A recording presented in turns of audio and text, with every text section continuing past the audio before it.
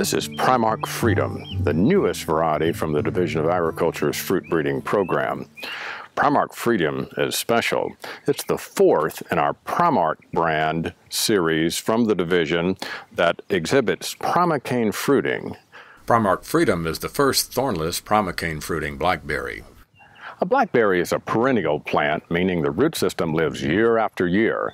Blackberries produce biennial canes, however. The first year canes are known as primocanes. Most everyone has seen floricane fruiting berries where the primocane grows vegetatively the first year, flowers in the second year, and then dies after fruiting. In the 1990s, University of Arkansas Division of Agriculture scientists created the first primocane fruiting blackberry varieties. And this has a trait known as primocane fruiting where flowers are borne on first year canes. Primocane fruiting allows production of berries both in the summer and fall, a unique trait discovered by the division scientists some years ago. Prime-Ark Freedom is exceptional in many ways. Large berries, good flavor. The floricane crop ripens seven days prior to Natchez exceptionally early.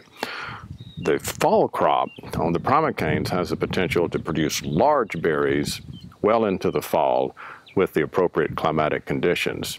Prime-Ark Freedom, it's really a breakthrough, the first of its kind ever developed in the world.